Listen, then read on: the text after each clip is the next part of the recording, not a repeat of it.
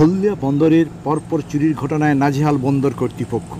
June মাসের পর তিনটি চুরি, বেআইনি লোডিংয়ের ঘটনায় বিপাকে পড়েছে বন্দর ও পণ্য পরিবহনকারী বিভিন্ন এজেন্সি। চুরির ঘটনায় রক্ষক কার্যতেই ভক্ষক হয়ে উঠেছে।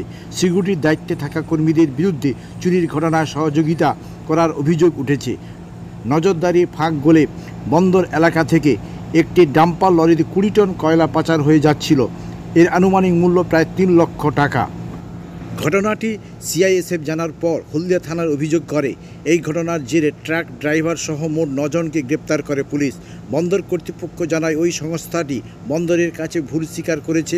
আদালতে বিষয়টি জানানোর পর ধৃতদের জামিনে মুক্তি হয়। হলদিয়া বন্দরের general manager traffic Abhay Kumar Mahapatra বলেন, বন্দরের এলাকায় চুরি বা পণ্য বোঝার ক্ষেত্রে ভুল বোঝাবুঝির ঠেকাতে নতুন সিদ্ধান্ত নেওয়া হয়েছে। বন্দরের মধ্যে বট হাড স্ট্যান্ড প্লটগুলি তৈরির সময় মাটি আইল্যান্ড রেখে দেওয়া হবে।